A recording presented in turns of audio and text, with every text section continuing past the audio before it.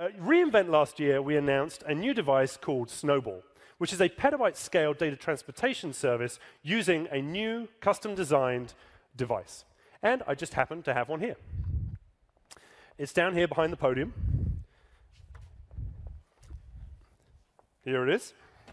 This is a snowball. Uh, I can bring it up on the screen here.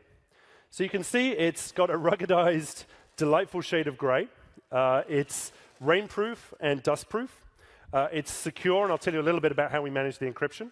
Uh, it's got everything you need inside this box, which has been tested to about 8.5 Gs, to be able to connect to your data center and load data in. So at this end, if I flip up the, the uh, flap here, you can see that we have an e-ink display.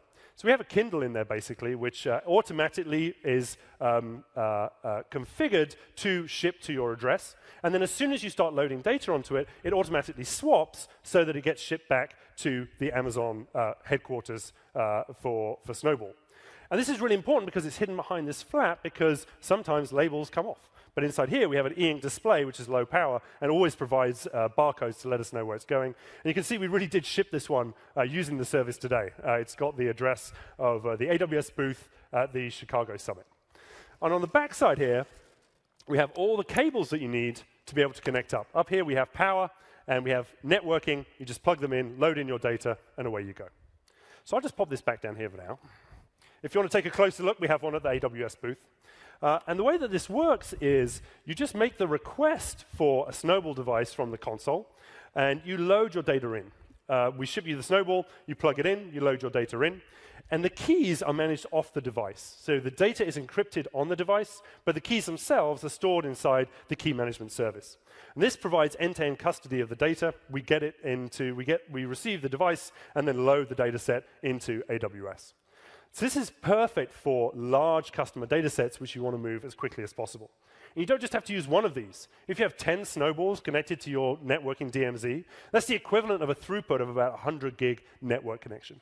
So this is a very effective way of moving large amounts of data into AWS. And we've seen tremendous momentum, if you'll pardon the pun, for Snowball since we announced it. So we have WWE, who have moved a few terabytes for disaster recovery purposes, all the way at the other end of the spectrum, we have Philips, who are moving petabytes of their data as part of their offering to hospitals to take patient data and store it in a secure environment. In fact, we've shipped enough snowballs to travel around the world 30 different times, and we've loaded over half a trillion objects using Snowball since October. It's a great service. So today we're growing the Snowball. Uh, we're announcing a new 80 terabyte Snowball device that's 60% larger than it's available today. We're increasing the global uh, uh, uh, awareness of the global delivery of the devices using US West in California, Dublin, and Sydney, available today. We're also adding support for GovCloud to load your data into GovCloud.